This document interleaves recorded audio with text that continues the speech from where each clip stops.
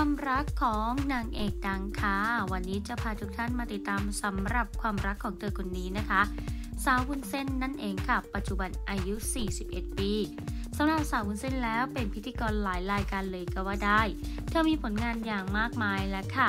สำหรับแนเรื่องของความรักก็ถูกจับตามองไม่น้อย เพราะว่าตอนนี้เนี่ยคือหวานฉ่ำกันมากๆกับไฮโซนิกนะคะ โดยหมอดูเอง ทักว่าจริงๆเนี่ยวุ้นไม่อยากจะเปิดตัวกับคนนี้นะ เพราะว่าไม่อยากให้คนอื่นรู้สึกว่าเลิกกันแล้วเดี๋ยวก็มีแฟนใหม่อีกไม่ใช่เรื่องที่ผู้หญิงทุกคนจะภูมิใจนะว่าเปลี่ยนแฟนบ่อย แต่ว่าสิ่งที่เราไม่สามารถรู้ได้ว่าคนนี้เนื้อคู่เราเราก็ต้องเรียนรู้ แต่ถ้าไปต่อไม่ได้ก็ไม่ฝืน เป็นวุ้นเองก็คือ ไปไม่ได้เป็นเพื่อนดีกว่า คนนี้คือแอบคบกันไม่บอกใครเลย แก๊งนางฟ้าก็คือไม่รู้ เพราะว่าช่วงนั้นโควิด ไม่เจอใครวุ้นก็คิดในใจเลยว่าคนนี้พอโควิดหมดนะเปิดประเทศแล้ว อะไรเขาก็เลิกกับวุ้นแหละ คิดเลยว่าแบบเขาไม่มีทางอยู่แล้ว เพราะว่าเราเจอกันหลังโควิด แล้วมันไปไหนไม่ได้ไง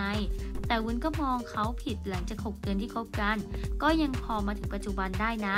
มองเขาผิดคิดว่าเขาเนี่ยจะไปเจอสังคมใหม่ ไปเจอคนที่เด็กกว่าเราก็เปลี่ยนไป แต่สุดท้ายเขาก็ยังคงเหมือนเดิม งานนี้บอกเลยว่าผ่านมา 6 เดือนแล้ว ทุกอย่างไม่เป็นอย่างที่คิด